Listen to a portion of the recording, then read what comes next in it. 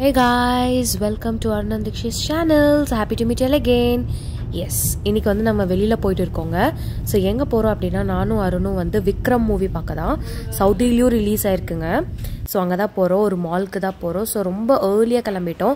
Like nine o'clock show அதனால் மாலே வந்து ரொம்ப விரிச்சோடி இருந்தது.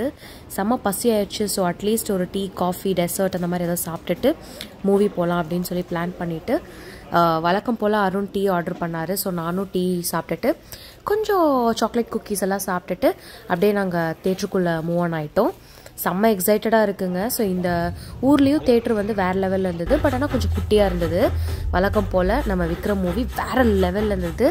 ரொம்ப என்ஜாய் பண்ணி பார்த்தோம். ஸோ பார்க்காதவங்க கண்டிப்பாக போய் பாருங்கள் வேறு லெவலில் இருக்குது அண்ட் இன்னும் ஓடிட்டுருக்கு like more than one month ஓடிட்டுருக்குங்க இந்த மூவி ஸோ பார்க்காதவங்க போய் பார்க்க பாருங்கள் பாய்